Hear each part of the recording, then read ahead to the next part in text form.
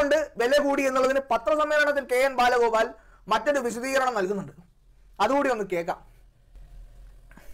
ഈ കാര്യങ്ങളൊക്കെ ചെയ്യുന്ന പ്രവർത്തനങ്ങളുടെ ഭാഗമായി ചെലവ് വരുന്നത് അതിന് സാധാരണഗതി എല്ലാ നിയമത്തിനനുസരിച്ച് നമുക്ക് കിട്ടേണ്ട ബോറോയിങ് സ്പേസ് ഉണ്ട്. ആ ബോറോയിങ് സ്പേസ് കടമെടുക്കാനുള്ള നിയമപരമായ അവകാശം. എന്ന് പറഞ്ഞാൽ ഏതൊരു മനുഷ്യനും കടമെടുക്കുമ്പോൾ നിങ്ങൾ ബാങ്കിൽ പോയി കടമെടുക്കുമ്പോൾ വീട് വെക്കാനോ ഒരു കാർ വാങ്ങിക്കാനോ കടമെടുക്കുമ്പോൾ തിരിച്ചടയ്ക്കാൻ കഴിയുന്ന ഒരു പരിധിയാണ് ആ പരിധി വെച്ചിട്ടാണ് നിങ്ങൾക്ക് ലോൺ തരുന്നത്. നിങ്ങളുടെ ശമ്പളവും നിങ്ങളുടെ വരുമാനം നോക്കിയിട്ടാണ്. അതുപോലെ സംസ്ഥാന ഗവൺമെന്റിന് കടമെടുക്കാനുള്ള പരിധി ഏകോശികമായി വെട്ടിക്കുറയ്ക്കുന്നു. കേന്ദ്ര ഗവൺമെന്റിന് ഇതേ കാര്യം നിങ്ങളോട് എന്താ ഞാൻ പറയേണ്ടത്?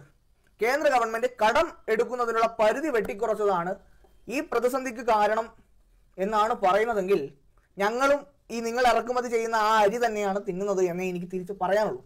കേന്ദ്രത്തിൽ നിന്ന് തരുന്ന കടം കണ്ടിട്ടാണ് അങ്ങ് ഇതെല്ലാം ഓടിക്കുന്നതെങ്കിൽ എനിക്ക് കൂടുതലൊന്നും പറയാനില്ല. എന്നാൽ പിന്നെ കേന്ദ്ര സർക്കാരിന്റെ ഭരണം എഴുതി കൊടുത്തിട്ട് ഇറങ്ങി പോണം. മറ്റൊരു സംസ്ഥാനത്തിനും ഇത്ര കണ്ട് വലിയ സാമ്പത്തിക പ്രതിസന്ധി ഇല്ലല്ലോ. നിങ്ങൾക്ക് മാത്രം ഇത് എവിടെ ഈ പ്രതിസന്ധി വരുന്നത്? അതിനെ അഡ്രസ് ചെയ്യുന്നുണ്ടോ? മദ്യത്തിന് പെട്രോളിന് വില കൂട്ടാൻ. ഇനി ഏതെങ്കിലും ഒരു ഇടതുപക്ഷക്കാരൻ എന്നോട് പെട്രോൾ വിലയെക്കുറിച്ച് രണ്ടു വാക്ക് പറയാൻ പറഞ്ഞിട്ട് വരണം കേട്ടോ. ഇനി ഏതെങ്കിലും ഒരു ഇടതുപക്ഷക്കാരൻ എവിടെയെങ്കിലും ന്യായീകരിക്കാൻ അത് പറഞ്ഞു കഴിഞ്ഞാൽ നാട്ടുകാർ മടൽ വെട്ടി അടിക്കും. പറയുന്നുകൊണ്ടൊന്നും തോന്നരുത്. ഞാൻ ആലോചിക്കുന്നത് അതല്ല ഈ പെട്രോൾ വില കൂട്ടിക്കഴിഞ്ഞാൽ സ്വാഭാവികമായിട്ടും തിരിച്ചടി ഉണ്ടാവുമെന്ന് കെ എൻ ബാലഗോപാലിന് ഇടതുപക്ഷത്തിനും അറിയാം. ആ തിരിച്ചടി ഉണ്ടാകുമെന്ന് അറിഞ്ഞിട്ടും അങ്ങനെ കൂട്ടണമെങ്കിൽ എന്തുമാത്രം വലിയ പ്രതിസന്ധിയിലേക്ക് അകപ്പെട്ടിട്ടുണ്ട് ഈ സംസ്ഥാനം എന്നാണ് ഞാനിപ്പോൾ ചിന്തിക്കുന്നത്.